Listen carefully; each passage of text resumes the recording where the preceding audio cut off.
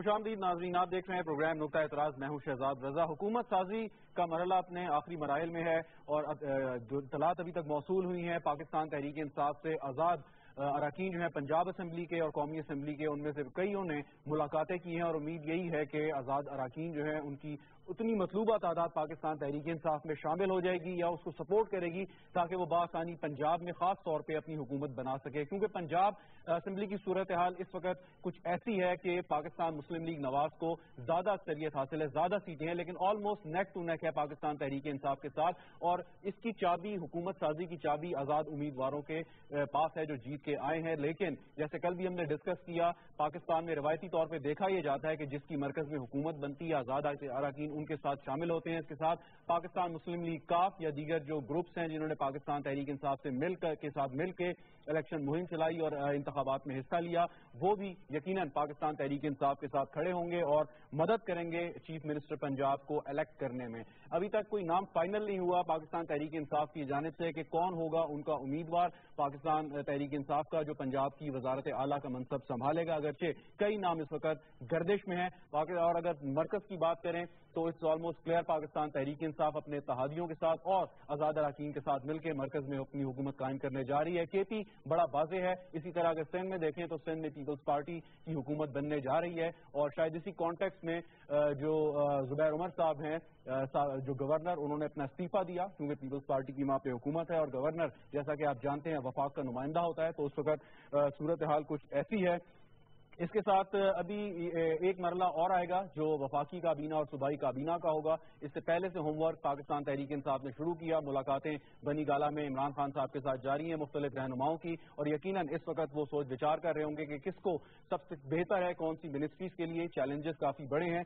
इन तमाम इशूज पर बात करेंगे। मुझे स्टूडियो में ज्वाइन कर रहे हैं मोहसिन बेग साहब एडिटर हैं जिना अखबार और ऑनलाइन न्यूज़ एजेंसी के तजियाकार। सर, बहुत शुक्रिया आपका। अहमद कुरैशी साहब एंकर पर्सन है, तजियाकार हैं। जानी मानी शख्सियत हैं। अहमद कुरैशी साहब आपका बहुत शुक्रिया। हारिस कलीग साहब again very well articulate analyst and writer Haris साहब थैंक यू सो मच थोड़ी देर में राना जवाद साहब डायरेक्टर न्यूज़ जियो हमारे साथ मौजूद होंगे। मोहसिन बेग साहब बगैर किसी डिले के आपकी जाने आता हूँ अब मसला मर, मसला तो नहीं बल्कि मरला।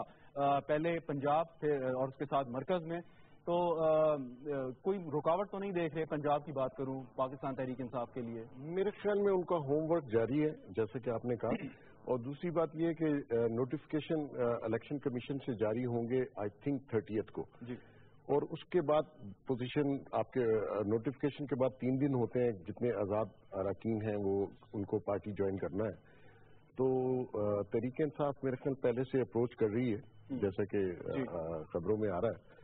तो मेरे ख्याल कोई एज सच उनको पंजाब में प्रॉब्लम नहीं होगी। एक आर्गूमेंट बल्कि आर्गूमेंट तो नहीं बल्कि दुहाई कहें तो ज़्यादा बेहतर होगा जो नून लीग वालों ने दी और कहा कि क्योंकि केपी में हम चाहते तो आपकी हुकूमत ना बनती और अक्सरियत हम आपके पास नहीं थी और यहाँ पे अगर उस असूल को मद्देनजर रखें तो अक्सरियत ही सीटें हमारे पास हैं कि एक सौ उनतीस हमारी हैं एक सौ तेईस आपकी हैं। देखिए शहजाद एक चीज़ बड़ी आ, पाकिस्तान की अगर आप हिस्ट्री देखें जिस आ, पंजाब सूबा इतना बड़ा है अगर आप पंजाब सूबा किसी और को दे दें जैसा कि नवाज़ शरीफ साहब पंजाब में थे बीबी साहिबा और पीपल्स पार्टी की गवर्नमेंट फेडरल फेडरेशन में थे वो लोग।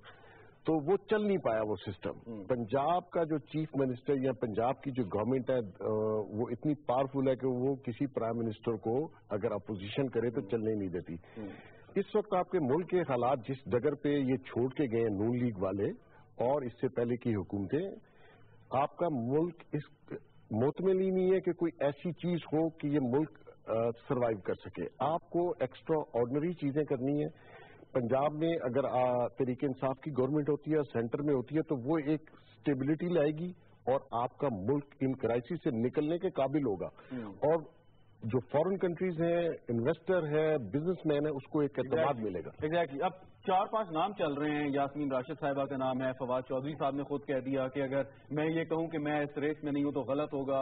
मियाँ अब्दुल रशीद साहब हैं अलीम खान साहब हैं शाह महमूद कुरैशी साहब क्योंकि सीट नहीं जीत सके। तो आ, कोई फैसला हुआ इस पर आपकी तलाक क्या कहती है? देखिए जी मेरी इतला तो यही है कि शाह महमूद साहब का अरेंजमेंट जो है वो पहले शबाज शरीफ साहब की दफ़ा भी वो अरेंजमेंट हुआ। टेम्प्रेरी तौर पर दोस्त मोहम्मद खुसर साहब को लाया गया और उन्होंने बाय इलेक्शन जीता और फिर आके बुरजमान हो गए। इसी तरह इससे पहले सेंटर में शौकत अज़ीज़ साहब को इसी अरेंजमेंट के तहत रिजाइन करवाया इलेक्शन लड़ाया। मीन वाइल चौधरी शुजात साहब प्राइम मिनिस्टर थे। ये अरेंजमेंट किसी भी जमहूरियत में गलत है। आपको उसी चॉइस में रहना है जो इलेक्टेड लोग हैं। हम्म। और आप उसमें से बेहतर चॉइस देखिए। अगर आप चेंज की बात कर रहे हैं तो मैं ये समझता हूँ कि जितने नाम आपने गिनवाए हैं ये मेरा नहीं ख्याल के चेंज ला सकते हैं जिसका नारा और जिसका वादा और जिसका ख्वाब इमरान खान साहब ने दिखाया हम्म। इसलिए एक डायनामिक किस्म का बंदा होना चाहिए जो वेरी सिंपल हो कोई बड़ा नाम नहीं चाहिए आपको। साहब तो सेनेट में आ गए। जी वो उन्होंने तो खैर कंटेस्ट ही नहीं किया। Exactly. और वो सेनेट में आ गए otherwise he was not a bad choice उसके पास इंटरनेशनल एक्सपीरियंस भी है क्लीन कट आदमी है कोई बैगेज नहीं है कोई ऐसी स्टोरी उनके ऊपर नहीं है कि जिसपे कह सकें कि उनका नाम अच्छा नहीं है। तो बेसिकली मेरे ख्याल में एक दो दिनों में नोटिफिकेशन तक नाम फाइनल हो जाएगा। ठीक अहमद कुरैशी साहब पंजाबी की अगर बात करें तो नाम फाइनल होगा लेकिन जैसे बेग साहब ने कहा कि कोई भी ऐसा बंदा नहीं जो तब्दीली की बात कर सके। ट्रेडिशनल पॉलिटिशियंस हैं। लेकिन इमरान खान साहब ने ग्राउंड रियलिटी एक्सेप्ट की इलेक्टेबल्स को भी साथ मिलाया।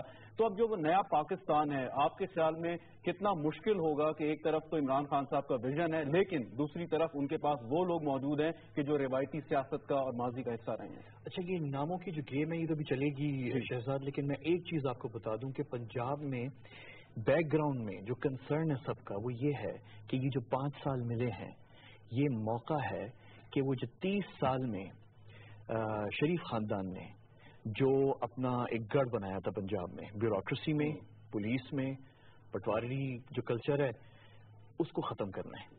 तो ऐसे शख्स को लेके आना है पंजाब में जो रोल बैक कर सके इस चीज़ को और जो समझ सके इस गेम को। उसने दो काम करने हैं। उसने अच्छी मैनेजमेंट भी करनी है तो उसको कुछ तजुर्बा पहले से होना चाहिए पंजाब का। राइट पंजाब में हुकूमत चलाने का तजुर्बा उसके पास होना चाहिए पहले से। और नंबर टू उसको पता हो कि वो डर्टी गेम्स क्या हैं जो पिछले तीस सालों में नवाज़ शरीफ साहब को कि उसकी उनकी वजह से नवाज़ शरीफ साहब जो है इतने ताकतवर बन सके। तो ये दो चीज़ें ये दो आर्ट्स ये दो स्किल्स उस शख्स के पास होंगी जिसको पंजाब ये जो मैंने नाम गिनवाया इसमें शायद अलीम खान साहब से हुकूमत का हिस्सा रह चुके हैं शायद। अलीम खान साहब ये एक सवाल है ये एक, इस, इस पर ये डिस्कशन हो सकती है कि अलीम खान साहब के पास क्या वो एक्सपर्टीज है कि वो पंजाब की बरादरियाँ पंजाब की डर्टी पॉलिटिक्स पंजाब का पटवार कल्चर पंजाब की पुलिस और ब्यूरोक्रेसी को हम्म। समझ सके मे, मेरा शायद ख्याल है कि शायद उनके पास इस तरह की एक्सपर्टीज शायद ना हो। हालाँकि वो मैनेजमेंट के हवाले से कहा जाता है कि वो he is good is a good administrator tough यानी कि अपने लेकिन इतना बड़ा एक्सपीरियंस की जब पंजाब सूबे को चलाने का देखिए ना ये नवाज़ शरीफ के पास ये आर्ट ये फन नवाज़ शरीफ साहब ने तीस बीस पच्चीस साल में सीखा। शहबाज शरीफ साहब को भी ग्रूम किया उसमें वो भी बड़े अच्छे स्किल्ड मास्टर हो गए। एक वक्त में कहा जाता था कि चौधरी निसार साहब का भी इस पर बड़ा वो है। रा, राना सनाउल्ला साहब का भी है। तो अब आप किसको लेकर आएँगे? आप देखिए ना इस वक्त बड़ा टफ चैलेंज है इमरान खान साहब के सामने कि उन्होंने ऐसे लोगों को लेकर आना है पंजाब में जो इनका मुकाबला करें इसको रोल बैक करें। तीस साल वाले काम को पाँच साल में रोल बैक करना है। तो ये बिग चैलेंज है ये बैकग्राउंड में इस पर बात हो रही है। लेकिन किसको लेकर आएँगे? कौन कर सकता है? इस पर अभी हम लंबी बहस कर सकते हैं। बिल्कुल ठीक बिल्कुल सही। हारिस खलीक साहब आपकी जाने आने से पहले जरा पंजाब असेंबली की सूरत हाल इस वक्त क्या है? क्योंकि पंजाब की बात हो रही है।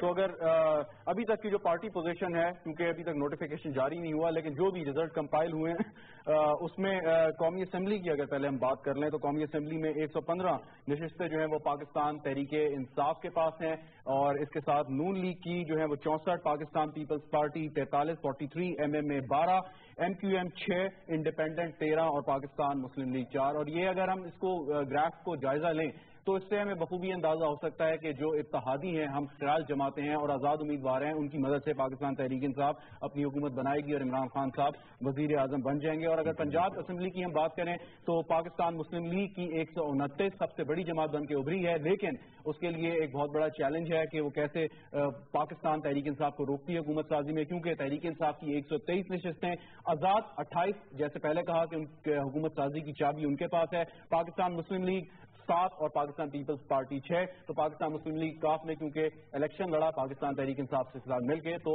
ये बात साफ़ है कि वो उनके साथ शामिल होंगे। हारिस अली साहब, बड़ी इंटरेस्टिंग बात है, जो बेग साहब और कुरैशी साहब ने की, कि स्पेस और ऐसा बंदा चाहिए कि जो खत्म कर सके। और इसकी मिसाल ये कि जब मुशर्रफ साहब आए, इनको बाहर भेजा, उसके बाद ये छह सात साल बड़े आसानी से बाहर गुजारने के बाद वापस आके वो स्पेस कैप्चर कर ली, क्योंकि वो इंफ्रास्ट्रक्चर वो कल्चर वहाँ पे मौजूद था, जिसमें उन्होंने इन्वेस्ट किया पिछले कई दहाइयों से। तो अब ये पाँच साल में उसकी तब्दीली क्यों कर मुमकिन है? अगर पीटीआई चाहती है कि स्पेस को उनकी खत्म करे सियासी तौर पर बहुत शुक्रिया, शहजाद। मेरा ख्याल है पहले तो नंबर्स गेम चार अगस्त को फाइनल हो जाएगा, चार अगस्त को आपको पता चल जाएगा कि सरकार किसकी बन रही है। लेकिन ज़ाहिर है कि इस बात से मैं इतफाक करता हूँ कि अगर पंजाब में हुकूमत किसी और की है और विफाक में किसी और की है तो मुश्किल ज़रूर हो जाएगा। मगर एक और जो पुराना एक कन्वेंशन है जैसे सबसे बड़ी जमात को आप बुलाते हैं हुकूमत बनाने के लिए जिस जिसकी तादाद सबसे ज़्यादा हो हम्म। तो वो भी टूटेगा। लेकिन उसकी तरफ़ मैं इससे इतफाक नहीं करता बेग साहब से कि कोई ऐसे मुल्क में ऐसा क्राइसिस है कि आप बुनियादी जमहूरी असूलों को जिस तरह इनकी बात इस बात से मैं इतफाक करता हूँ कि जो लोग मुंतखब होकर आए उन्हीं में से वज़ीर अला का चुनाव होना चाहिए। लेकिन इस बात से मैं इतफाक नहीं करता कि आप कुछ ऐसे उसूलों को अपनी मर्ज़ी से तोड़ दें एक कन्वेंशन है उसूल नहीं है। वो हुकूमत गिराई भी जा सकती है हुकूमत तो मरकज में भी गिराई जा सकती है अगर तमाम जो अपोजिशन पार्टीज़ मिल जाएँ। लेकिन ये अच्छा नहीं होता जमहूरी निज़ाम के लिए। नहीं लेकिन, लेकिन अगर आ, लेकिन गुजारिश ये कि पीएमएल की अक्सरियत है उनको इन्वाइट करते हैं लेकिन एट द सेम टाइम वो नहीं बना सकते तो दूसरी जमात को इन्वाइट लेकिन वो काम साथ साथ जारी रहेगा नहीं देखिए इसीलिए मैंने अर्ज़ किया कि चार अगस्त को ये फैसला हो जाएगा कि जो आज़ाद उम्मीदवार हैं वो किसके साथ जाते हैं? उनके पास तीन दिन या बहत्तर घंटे होते हैं या कोई तरह है उसमें वो चले जाते हैं। तो वो तो फिर फिर शक्ल और होगी ना। मैं तो आज की बात कर रहा हूँ। हम्म। चार को हो सकता है कि तहरीक इंसाफ सबसे बड़ी जमात हो। हम्म। तो फिर आप तहरीक इंसाफ को दावत दे दें।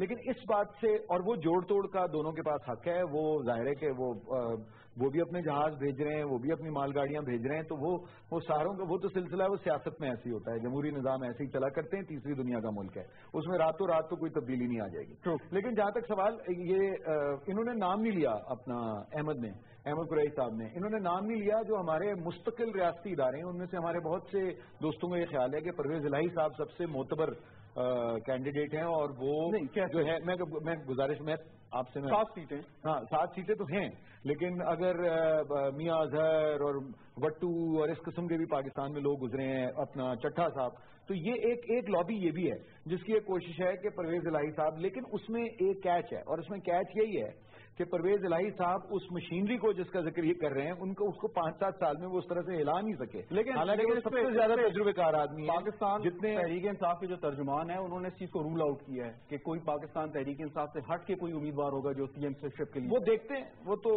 वो तो सियासत में तो रोज बात बदलती है ना। आमिर खान साहब के साथ भी तो गुफ्तु हो रही है जिनके खिलाफ इलेक्शन जीता है। तो सियासत में तो ये चीज़ें होती हैं। मैं इनको बुरा नहीं समझता और मैं सार्केस्टिक भी नहीं हो रहा। देखिए जो सियासत होती है ना जो रियल पॉलिटिक है उसमें आपको वक्त के हिसाब से फैसला करना पड़ता है कि उस वक्त क्या सूरत हाल है। हम्म। तो ये आप कैसे अगर ये सात नशस्तें हैं या पंद्रह अगर सारी कैबिनेट बेशतर आपकी है और आप ये चुन लेते हैं किसी और को यानी वज़ीर आला जिसको हिमायत हासिल होती है मुख्तलिफ़ बरादरियों की और मुख्तलिफ़ सियासी ग्रोहों की। और वो शख्स ऐसा है जो अपने पुराने असर रसूख को इस्तेमाल करके एक फॉरवर्ड ब्लॉक भी बनवा सकता है या कुछ लोगों को बैक बेंचर भी करार दिलवा सकता है। तो वो भी तो शुमार होगा। चौधरी परवेज ने अपने सबका दौर में अगर वो रोल बैक नहीं किया असर रसूख शरीफ फैमिली का वो इसलिए था कि उस वक्त फिर भी वो चीज़ थी कि हो सकता है आगे चल के नून लीग के साथ कुछ मामला देखिए इन्होंने नाम नहीं लिया पहली दफ़ा मैंने पहली दफ़ा भी नाम लिया।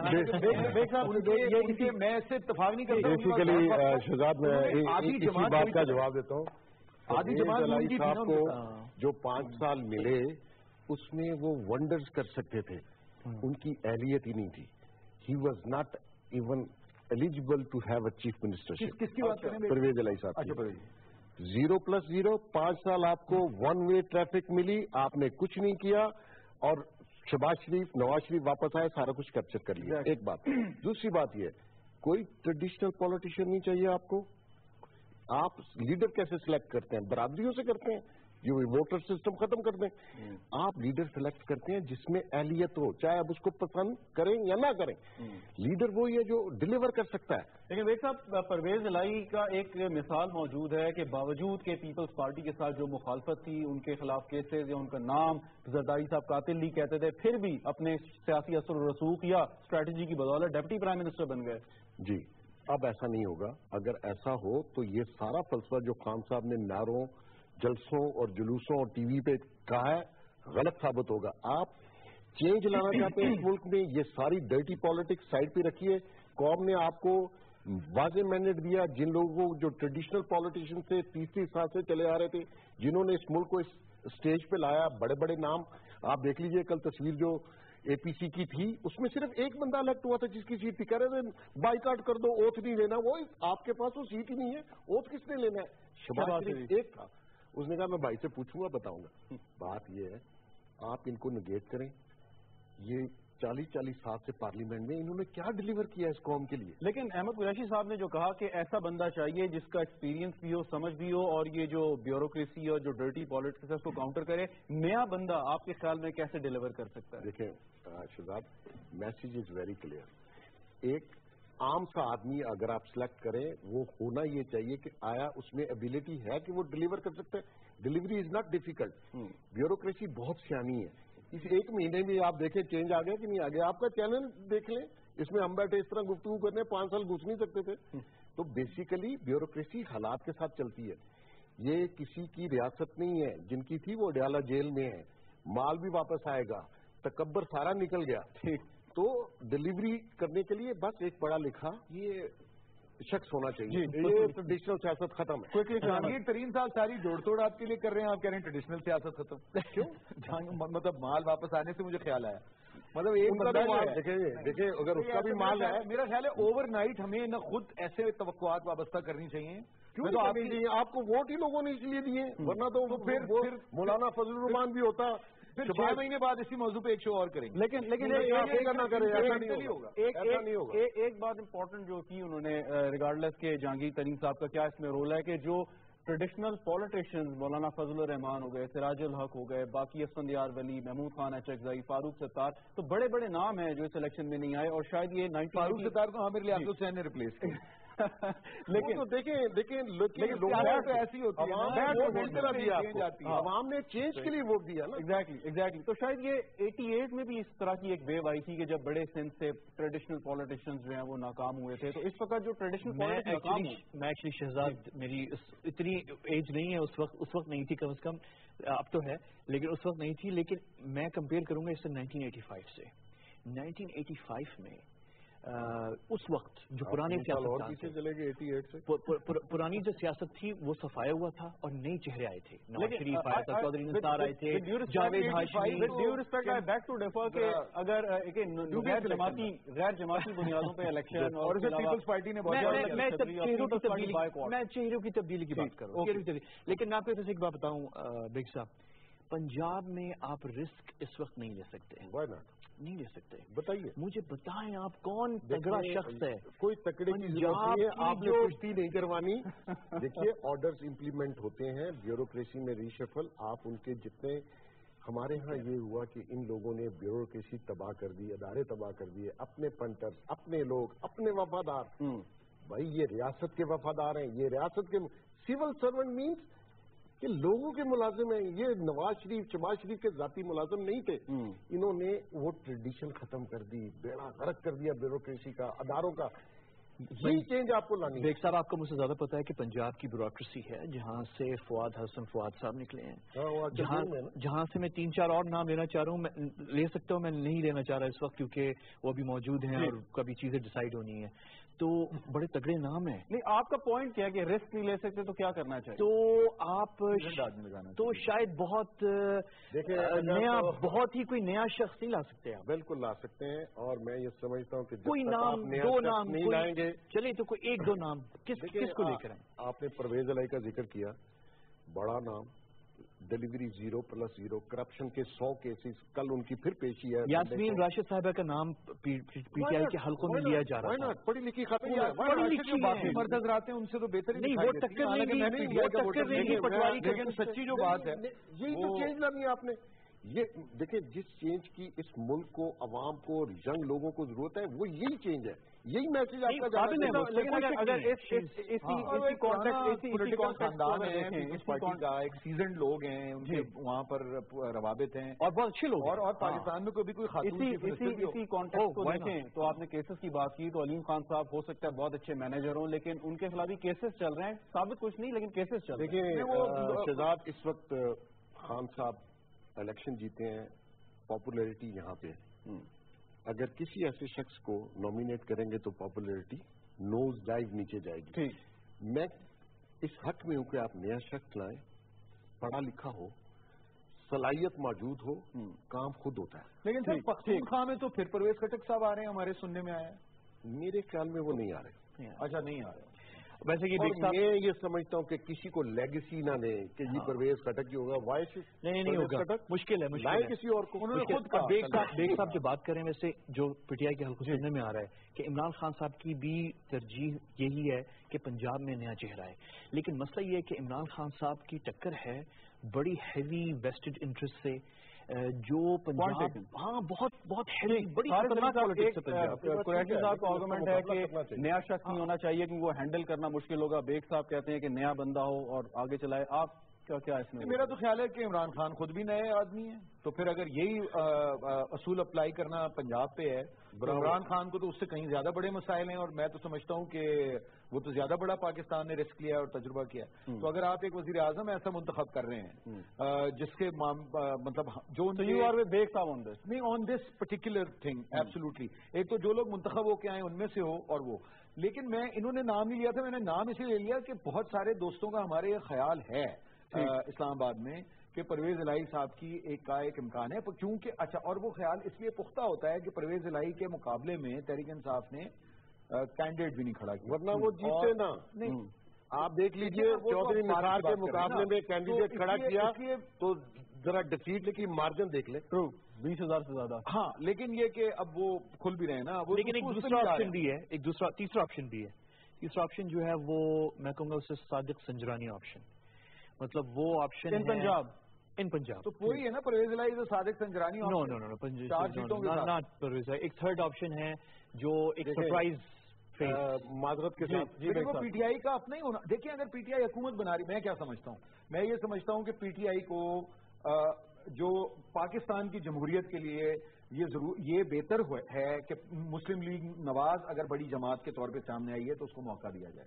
लेकिन अगर चार अगस्त को मामला मुख्तलिफ़ होते हैं और पीटीआई खुद ये फैसला करती है जिससे मैं इस वक्त इतफाक नहीं करता तो उसके बाद पीटीआई के अपने लोग मुंतखब लेकिन लेकिन मुझे तो एक एक एक बेग साहब के पास जाता मुझे एक एक एक बात एक बात एक बात समझा दें बैगेज अलीम खान का बेग साहब के पास हमारे अपने मतलब। और दोस्त उनकी बेग साहब के पास जाने से एक पहले एक चीज़ मुझे समझा दें कि अगर इंडिपेंडेंट्स की अक्सरियत चाहे वो पीटीआई में शामिल नहीं भी होते वो आज़ाद हैसियत से पीटीआई को सपोर्ट करने को तैयार होते हैं तो फिर किस बुनियाद पे हम ये कह सकते हैं कि मुस्लिम लीग नवाज़ को नहीं वो वो तो वोटिंग के दिन पता लगता है ना। देखिए गुजारिश ये नहीं ना। देखिए गुजारिश ये है कि कॉन्स्टिट्यूशनली तीन दिन के अंदर आज़ाद उम्मीदवार ये फैसला करते हैं कि उन्होंने कोई सियासी जमात ज्वाइन करनी है या आज़ाद रहना है। और अगर उन्होंने आज़ाद रहना है और वो हिमायत का ऐलान करें भी तो वोटिंग पे फैसला होगा उस वक्त उससे पहले फैसला नहीं। अगर ये जो छत्तीस के नज़दीक छत्तीस के करीब हुए हैं आज़ाद उम्मीदवार ट्वेंटी एट अभी अट्ठाईस आज़ाद उम्मीदवार हैं। इन अट्ठाईस आज़ाद उम्मीदवारों में से अगर अक्सरियत पीटीआई पहले ही ज्वाइन कर लेती है तो मैं आपसे गुजारिश यही कर रहा हूँ कि फिर पीटीआई को आप हुकूमत आसानी के साथ बनाने का लेकिन अगर नहीं लोग ऐसे तो हैं, मुस्लिम लीग नवाज़ को कहना चाहिए टिकट नहीं दिया। चौदह लोग वो हैं जिनको पीटीआई ने टिकट नहीं दिया और वो आज़ाद खड़े हो गए थे और वो आज़ाद जीते हैं। वो पीटीआई ही के लोग हैं। लेकिन टिकट पे मसला आया तो वो आज़ाद खड़े हुए टिकट अब तीन लोग या चार लोग पार्टी टिकट के कैंडिडेट थे तो चौदह लोग तो वो हैं। ठीक। ठीक है जी? और दूसरी बात यह है कि जैसे कह रहे हैं एक्सपीरियंस वाला बंदा पंजाब में चाहिए या पाकिस्तान में एक्सपीरियंस वाला बंदा चाहिए। इस मुल्क को डुबो दिया आपके एक्सपीरियंस वालों ने आप खुदा का खौफ खाए पाँच साल एक्सपीरियंस वाली टीम थी बेड़ा गर्क कर दिया कितना लोन इशू करवाया सारी इंडस्ट्री आपकी बैठ गई। तो अभी आपका आप फॉरेन एक्सचेंज बैठ गया। ये तजर्बाकार टीम थी ना जो लंदन में अभी हॉस्पिटल का ड्रामा करके बैठा हुआ है इसहाक डार साहब। डॉलर देख लीजिए अब चार दिन हुए हैं स्टेबिलिटी आई है डॉलर नीचे गिरा है। छह रुपए नीचे। स्टॉक मार्केट आपकी ऊपर चली गई। आपके ये एक्सपीरियंस वाले फ्रॉडिये एक्सपीरियंस को डिफाइन कर लेते हैं ना चलें। एक्सपीरियंस से मुराद क्या है? मतलब कुरैशी साहब आप जो कहते हैं ना कि एक्सपीरियंस आदमी एक्सपीरियंस से मुराद क्या है कि अगर नया बंदा भी होगा आप ये बाजारी पॉलिटिशियन जी बहरा जी साहब साहब अचकजई ग्यारह ग्यारह लोग फैमिली के एंजॉय कर रहे हैं उदय दिया क्या पाकिस्तान को? डिफाइन एक्सपीरियंस सबको मालूम है जो आप बात कर रहे हैं ना ये पाकिस्तान के जो वोटर है उसका मिजाज यही है इस वक्त। जितने ज़्यादा इंडिपेंडेंट इलेक्ट हुए हैं इस दफ़ा वो इसीलिए हुए हैं कि लोग तंग आ चुके हैं एक्सपीरियंस लोगों से और जो फेस तब्दीली जो आई है। तो ये लेकिन मैं मैं आपसे सिर्फ़ इतना कह रहा हूँ मैं आपसे सिर्फ़ कह रहा हूँ कि हर जगह वही होना है जो आप कह रहे हैं सिवाय पंजाब में थोड़ा सा संभल के चलना है बस। नहीं मैं इससे इतफाक नहीं करता। चलें, मैं- यानी ये जो पाकिस्तान अगर अगर वोटर इतना ही माशाल्लाह जो है शानदार हो गया होता तो इलेक्टेबल्स इलेक्टेबल्स के पीछे दो महीने पहले क्यों भाग रही थी पीटीआई देखिए पाकिस्तान कोई एक्सपेक्ट नहीं कर रहा था। कोई बुरी बात है, जो- हम हम एक्सपेक्ट नहीं कर रहे थे कि नहीं मेरी बात ही नहीं समझ रहे। मैं तो आपसे ये कह रहा हूँ कि ये निज़ाम आहिस्ता आहिस्ता तब्दील होगा इतनी तवक्कुआत इससे वाबस्ता न करें। उसकी वजह यह है कि एक करोड़ अड़सठ लाख वोट मिला है कौमी असेंबली में पाकिस्तान तहरीक इंसाफ को। एक करोड़ अट्ठाईस लाख वोट मिला है मुस्लिम लीग नवाज़ को और अड़सठ लाख वोट ही मिला है पीपल्स एक्सपेक्ट क्यों ना पार्टी को। हारिस अली साहब अगर लोगों ने तब्दीली के लिए वोट दिया है तो एक करोड़- ना करें? एक करोड़- क्यों ना करें तब्दीली और मैं सॉरी एक तो देखिए उसकी दो तीन बुनियादी वजूहत हैं। उस पर हम जो है एक नजरियाती चलें वक्फे के बाद आ जाऊँ फिर आपकी लेकिन ऐसी बात ना करें हो सकता है अगर इमरान खान साहब अकड़ गए तो वही होगा जो अकड़ गए तो है, अगर इमरान खान अकड़ गए बात नहीं है मैं ये तो यास्मीन राशिद आ सकती कि उनको क्लीन कट सलाहियत वाला शख्स उपाइन करना चाहिए। चलें वक्फा वक्फा ले लूँ फिर उसकी जाने आपकी जाने वापस आता हूँ हारिस अली साहब। नाजिन ब्रेक लेते हैं गुफ्तगू जारी रहेगी हमारे साथ रहिएगा।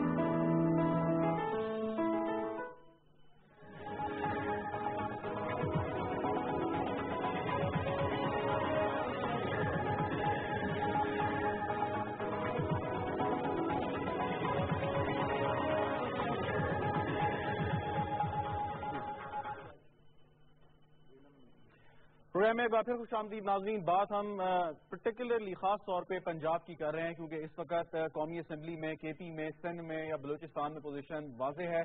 पंजाब में अगरचे उम्मीद यही या चांसेस पाकिस्तान तहरीक इंसाफ के हैं, लेकिन उसमें कुछ इफ्स एंड बट्स हैं, जैसे आरिफ खलीक साहब भी प्रोग्राम के दौरान यही बात कर रहे थे कि जो सबसे बड़ी जमात या जिसने सबसे ज़्यादा नशिस्तें हासिल की हैं ट्रेडिशनली उसको दावत मिलनी चाहिए, लेकिन ये वाजे होगा जब बाकायदा नोटिफिकेशन जारी होगा और उससे पहले आज़ाद अरकान जो है वो किस जमात के साथ शमूलियत इख्तियार करते हैं तो अगर वो करते हैं तो पाकिस्तान तहरीक इंसाफ की सबसे ज़्यादा सीटें पंजाब असम्बली में बन सकती हैं। अगर दीगर असम्बलियों में अगर हम पार्टी पोजिशन देखें तो सिंध में इस वक्त पाकिस्तान पीपल्स पार्टी छिहत्तर नशस्तों के साथ सबसे ऊपर है। उसके बाद पाकिस्तान तहरीक इंसाफ का नंबर है तेईस जी डी ए ग्यारह तहरीक लब्बैक दो एम एम ए और एक की एक नशस्त है। और एम क्यू एम की सोलह नशस्तें हैं इस पे। तो इस पे पाकिस्तान तहरीक इंसाफ सबसे बड़ी जमात बनकर उभरी है ऑपोजिशन बेंचेस पे। तो इसका यह मतलब हुआ कि एम क्यू एम जो चैलेंज करती थी पाकिस्तान पीपल्स पार्टी की पॉलिटिक्स को उसको बाकायदगी से बड़े खुश असलूबी से रिप्लेस किया है पाकिस्तान तहरीक इंसाफ ने। बलूचिस्तान असम्बली अगर के पी असम्बली पर हम देखें तो इस वक्त पाकिस्तान तहरीक इंसाफ छियासठ नशस्तों के साथ सबसे ऊपर है। एम एम ए की दस ए एन पी छह, आज़ाद छह, मुस्लिम लीग नून पाँच और पी पी की चार हैं। तो बड़ी आसानी के साथ हुकूमत बनती है। बलूचिस्तान असम्बली में बी जो एक नई जमात है, लेकिन सियासतदान पुराने हैं, पंद्रह नशस्तों के साथ पहले नंबर पे है। एम एम ए ने भी हासिल की आज़ाद भी हैं, तहरीक इंसाफ भी। तो इसका ये मतलब हुआ कि वो लोग जो नई जमात में हैं इस वक्त और हमने पहले भी देखा तो वो बासानी हुकूमत बना सकते हैं अपनी जो लाइक माइंडेड पार्टीज़ के साथ मिलकर जी, बेग साहब, वक्त से पहले आप ज़िक्र कर रहे थे और बल्कि दौरान भी। मैं ये कह रहा हूं- पंजाब ही पंजाब है। देखिए ना पंजाब की सियासत नो डाउट के बहुत डिफरेंट है। बाकी प्रोविंसेस के हिसाब से यहाँ पे बहुत बहुत डिफरेंट किस्म के ग्रुप्स आते हैं अपनी अपनी लॉबिंग करते हैं। लेकिन क्योंकि आपने नया एक नया तरीके से गवर्नेंस का जो पुराना रवायती तरीका है वो खत्म करना है। आपने करप्शन इकरा परवरी को खत्म करना है तो आपको थोड़ा सा एक्स्ट्रा ऑर्डनरी फैसले करने पड़ेंगे और आपको करने चाहिए मैं यहाँ पे। सौ दिन में आपने सराइकी सूबा भी बनाना है जनूबी पंजाब मैं कहता हूँ तीन सूबे बनाए। नहीं नहीं वो तो आप कहते हैं लेकिन जो चीफ मिनिस्टर है हाँ, उसकी एक ये भी ज़िम्मेदारी होगी बिल्कुल। कि वो उसको फैसिलिटेट कर सके जो वादा है खान साहब एग्जैक्टली बिल्कुल के यही मैं सवाल यही करने लगा था हारिस ने वही बात कर दी कि एक वादा ये नहीं पूरा करना है आपने तो पंजाब वो पंजाब नहीं रहेगा अगर तहरीक इंसाफ इस पर कायम रहती है। बिल्कुल देखिए स्मॉल यूनिट्स बनने चाहिए पूरी दुनिया में ऐसा है। यहाँ पे जब तक आप पावर डेल्यूशन के ऊपर नहीं जाएँगे एक शख्स के पास इतनी बड़ी पावर है कि वो सेंटर को भी चैलेंज करता है और पूरे पाकिस्तान को एक किस्म का पंजाब होल्ड करता है। आपकी पूरी पाकिस्तान की जो ब्यूरोक्रेसी है वो डोमिनेटेड बाय पंजाब। आपकी पुलिस देख लीजिए आपकी जुडिशरी देख लीजिए। तो बेसिकली इसके स्मॉल यूनिट्स बने इक्वालिटी आए बेहतर मैनेजमेंट सिस्टम आ सके। शबाज शरीफ साहब ने नौ साल बल्दियात का फंड इस्तेमाल किया। साढ़े नाइन सौ बिलियन ये फंड है बल्दियात का जो ये जो billion dollar billion dollar billion नौ सौ तीस अरब रुपए सालाना। नौ साल एक शख्स के हाथ में रहे और उसने बल्दियात में डिस्ट्रीब्यूट नहीं होने दिए अंटिल के सुप्रीम कोर्ट ने कहा कि आप बल्दियात के इलेक्शन करवाएँ। और ये 56 कंपनी उन्हीं बजट से चल रही थी जिनके अरबों रुपए खाए गए। बात यह है कि इस तरह निज़ाम नहीं चल सकता ये जमहूरियत की बात करते हैं लेकिन पावर डिल्यूट करने नहीं देते नीचे। Exactly exactly. सारा कुछ अपने हाथ में रखा। बारह बारह मिनिस्ट्रियाँ रखी। भाई साहब ने फेडरल में नवाज़ शरीफ साहब ने बारह मिनिस्ट्रियाँ उसने बारह मिनिस्ट्रियाँ ऐसे थोड़ी निज़ाम चलता बिल्कुल। अहमद कुरैशी साहब जो बात वही है हारिस भी जो कर रहे थे और अभी और अभी भी शहजाद मैं आपके क्वेश्चन से पहले मैं ये कहूँ कि जो डैम्स की बात हो रही है जो सेकंड मोस्ट इम्पोर्टेंट चीज़ जिसकी तरफ़ हारिस साहब ने भी बेग साहब ने बात कर दी वो यही है स्मॉलर यूनिट्स वाला। जो सराइकी सूबा है this will be the start वो जो टैबू है नई सूबे बनने का वो यहाँ से खत्म करने का काम जो है वो इस सूबे से शुरू होगा। और ये इट्स वेरी इंपॉर्टेंट जो ज़बरदस्त बात आज चीफ जस्टिस साहब ने की है पाकिस्तान के हवाले से और डैम्स के हवाले से जो आज उन्होंने खताब किया लाहौर में दिन में। तो इसी तरह की बातें इतनी डायर और इतनी अहम नए सूबों के हवाले से भी आप लेकिन आप समझते हैं कि इतना तो इसीलिए आपको पंजाब में चाहिए कोई तगड़ा शख्स। जनरल जनरल मुशर्रफ बावजूद इसके कि एब्सोलूट उनके पास पावर थी वो ये काम नहीं करते जनरल मुशर्रफ नहीं नहीं ऐसी ऐसी बात नहीं आपने खाली कानून में नहीं आइन में तरमीम कर जनरल मुशर्रफ साहब ने टू थर्ड मेजोरिटी के बगैर आप कैसे पंजाब में एडमिनिस्ट्रेटिव यूनिट या सूबे बना सकते हैं? मेरी इन्फॉर्मेशन ये है कि सन 2000 में नाइन इलेवन से पहले एक साल पहले सन 2000 में पूरा ब्लू प्रिंट नई यूनिट सब तैयार था। एवरीथिंग वॉज़ रेडी सिर्फ़ कराची की वजह से मामला रुक गया था। एवरीथिंग वॉज़ रेडी कोई ऐसी बात नहीं थी। अट्ठारह भी थे बीस भी थे बाईस भी थे और भी कुछ आइडियाज़ एक्चुअली परवेज अलाई साहब ने ये होने नहीं दिया। और उसके बाद शबाज शरीफ ये कभी होने नहीं देगा। तो ट्रेडिशनल पॉलिटिशन नहीं होने देगा नहीं होने देगा। वो चाहता है absolute par Punjab is a big province like a gold mine gold mine आप पंजाब की हुकूमत देख लो chief minister prime minister Haris Ali साहब वही बात के टू थर्ड मेजोरिटी चाहिए। तो पीटीआई जो मर्ज़ी करे जितना मर्ज़ी अच्छा कुछ कर ले तो पाकिस्तान मुस्लिम लीग नवाज़ तो शायद कभी भी उसे किसी कॉन्स्टिट्यूशन अमेंडमेंट में सपोर्ट ना करे। रियलिस्टिकली मैं मैं मैं एक देखिए एक तो आ, मतलब मैं भी समझता हूँ कि होना चाहिए इंतबात होने नहीं देखिए सुबह का मामला एडमिनिस्ट्रेटिव इशू नहीं है ये। ये पॉलिटिकल इशू है। पाकिस्तान एक फेडरेशन है। चालीस की करारदाद है। चार उसके फेडरेटिंग यूनिट्स हैं। हम्म। अब उन फेडरेटिंग यूनिट्स के अंदर अगर इस बात पर इतफाक राय नहीं आप पैदा कर सकते कि इस फेडरेटिंग यूनिट को तकसीम करना है हम्म। और उसको तकसीम करके दो फेडरेटिंग यूनिट्स के बराबर बनाना है तो ये एक अलहदा मसला है। सियासी और आप उसके उसके बहुत से दीगर हल मौजूद हैं। आप उसके अंदर डिविजन और उन डिविजन्स को बहुत ज़्यादा एम्पावर कर सकते हैं। ताकि सिंध अपनी असली हैसियत में बरकरार रहे, मगर उसके पाँच या छह जो डिविजन हैं, वो इतने एम्पावर्ड हों और इतनी ज़्यादा मज़बूत बल्दियात हों कि ये सवाल ना उठें। क्योंकि सवाल तो उन फैसलों में हिस्सा लेने का है जिससे आपकी ज़िंदगी मुतासर होती है। मगर हमारे यहाँ, चूँकि हम लोग जरा, मैं, मेरी भी वही तरबियत है ना, यानी एक खास जो एक प्रोफेशनल ट्रेनिंग होती है जिसमें आप एडमिनिस्ट्रेटिव सोल्यूशन ही प्रपोज करते हैं फॉर लार्जर पोलिटिकल प्रॉब्लम्स ये होने नहीं वाला। क्योंकि दो तहाई कॉन्स्टिट्यूशनल आपको चाहिए अक्सर नहीं अक्सरियत नहीं आपको people to vote for you in Islamabad as well as in Lahore जब तक पंजाब असेंबली ये तय नहीं करती दो तहाई से और जब तक विफाकी हुकूमत तय नहीं करती दो तहाई से विफाकी नेशनल पार्लियामेंट और पार्लियामेंट सेनेटर तो ये क्या और उसमें उसमें सिर्फ़ मसला पीटीआई को रोकने का नहीं है क्योंकि जो इतनी बहुत सारी तरमीमें पाकिस्तान के कॉन्स्टिट्यूशन में हुई हैं ये बड़ी हंग पार्लियामेंट थी की तो बहुत बड़ी एक प्रेजेंस है जिसमें लोगों ने इतफाक राय पैदा किया। अब आप ये तफाक राय कैसे इसको आप एडमिनिस्ट्रेटिवली पैदा नहीं कर सकते? बिल्कुल इसी इसके लिए पॉलिटिकल कंसेंसस चाहिए। अगले पॉइंट की जाने मुझे बढ़ना है लेकिन एक इनकी की बात का जवाब देते हैं। पहले हो जाए तो पहले ऑलरेडी ये बिल पंजाब असेंबली में पास हो चुका हुआ है। जनूबी पंजाब जुबनी पंजाब दो सूबों का हुआ हुआ है वो करारदाद अगर कोई। शख्स पार्लियामान में इस बिल की मुखालफत करेगा मैं आपको गारंटी करता हूँ उसकी फ्यूचर की सियासत खत्म हो जाएगी। लेकिन आपके जो पॉलिटिकल पार्टी बिल नहीं पास जो। पॉलिटिकल पार्टी लेकिन लेकिन लेकिन आप- बिल नहीं पास हुआ नून ने कहा हम बनाएँगे नून ने अपने भावलपुर सूबा अलग था मुल्तान अलग था। सुन लीजिए नून ने अपने मैनिफेस्टो में डाला पीटीआई ने मैनिफेस्टो में डाला कि हम बनाएँगे सूबा पीपल्स पार्टी ने मैनिफेस्टो में डाला। आप अपने मैनिफेस्टो की नफी कौमी असम्बली में करेंगे next next point next point Baig साहब आप इससे शुरू कर लेता हूँ कि अब जो ये बाकी जमातें जो कल एपीसी में थी अगरचे आपने उस पर कहा कि एक के अलावा किसी और को मेंबरशिप नहीं मिल सकी एनए की और वो बायकॉट करें या जो भी ओत ना लें। लेकिन आप समझते हैं देखते हैं कि इनमें इतनी कैपेसिटी है कि वो पीटीआई को स्ट्रीट्स में एजुटेशन करके टफ टाइम देंगी या जो नतज मुस्तरद कर दिए उन्होंने इसका क्या इम्पैक्ट होगा आपके मैं समझता हूँ उनके पास स्ट्रीट पावर नहीं है। बेसिकली तीस चालीस साल से सुन लीजिए। पास तो सुन लीजिए। जी। ये मजहबी जमातें मैं बहुत अच्छी तरह जानता हूँ। ये दीन बेचने वाले लोग हैं। इन्होंने दीन को पॉलिटिक्स में ला के मैनिपुलेट कर रहे हैं। लोगों को बदगुमान करते हैं। ये वो लोग हैं। इस दफ़ा कैंपेन में ठीक है जी। ये वो लोग हैं जो दीन के दीन को एक्सप्लाइट करके लोगों के जज्बात से खेल के वोट लेना चाहते हैं। ये कभी कामयाब ये हुए? चालीस साल से बैठे थे असेंबली में। एक काम बता दें ये सारे पॉलिटिशियन जो फ़ोटो में नज़र आ रहे थे कि इस मुल्क के लिए इस अवाम के लिए उन्होंने चालीस साल में एक काम किया हो। कौमी असेंबली में एक बिल अवाम के लिए पेश किया हो। कोई क्रेडिट में चीज़ नहीं है।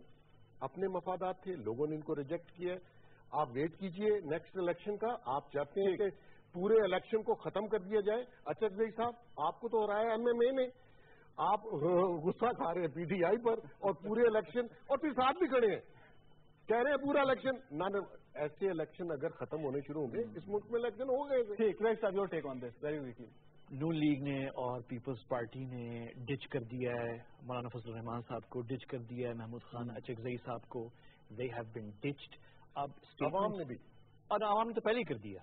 लेकिन नून लीग ने और पीपल्स पार्टी ने डिच कर दिया है अचकजई साहब को और फजल रहमान साहब को आफ्ताब शेरपाव साहब को सराजुल हक साहब को सबको डिच कर दिया है। स्टेटमेंट्स और वो जो प्रेशर टैक्टिक्स के लिए ये बातें होती रहेंगी लेकिन इन रियलिटी वो स्ट्रीट एजुटेशन और वो नथिंग ठीक लेकिन पीपल्स पार्टी की तो समझ आती है कि उसकी हुकूमत है। सिंध में तो वो स्ट्रीट एजुटेशन चला के क्या करेगी और वो उसका हिस्सा भी नहीं है।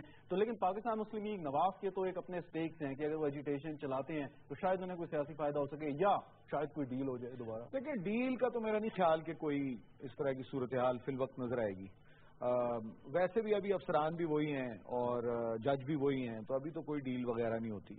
और दूसरे में डील होनी भी नहीं चाहिए। यानी एक संजीदा बात यह कि इस किस्म की कोई डील नहीं होनी चाहिए ना उनको उसकी कोशिश करनी चाहिए। अगर वो एजिटेशन करना चाहते हैं करें फबेहा। चूँकि ये हर जमात का एक कानूनी और जमहूरी हक है वो जित, वो अगर एजुटेशन करना चाहते हैं वो कानूनी तरीकों से हल्के खुलवाना चाहते हैं गिनती कराना चाहते तो पहले खान साहब ने कह दिया। नहीं खान साहब कि मैं मदद नहीं, नहीं, नहीं, वो मदद का मसला नहीं है खान साहब की वजह से देखिए वो इशू ये है कि वो मैंने आपसे ये कहा कि कानून में ये मौजूद है कि रिटर्निंग ऑफिसर खोल सकता है अगर वहाँ से नहीं होता इलेक्शन कमीशन से तो आप हाई कोर्ट में चले जाते हैं। उनको वो सारे तरीके इख्तियार करने बिल्कुल इख्तियार करने चाहिए उनकी।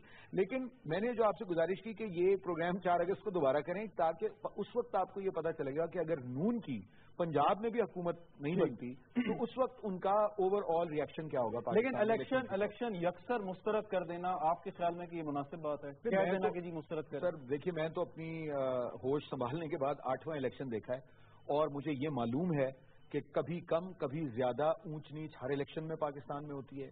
मगर कभी भी इलेक्शन को यकसर मुस्तरद करना बिल्कुल दुरुस्त नहीं है जमहूरी अमल के लिए। चाहे मेरे मर्ज़ी के लोग मैं बेग साहब को नहीं देता वोट मेरी मर्ज़ी है।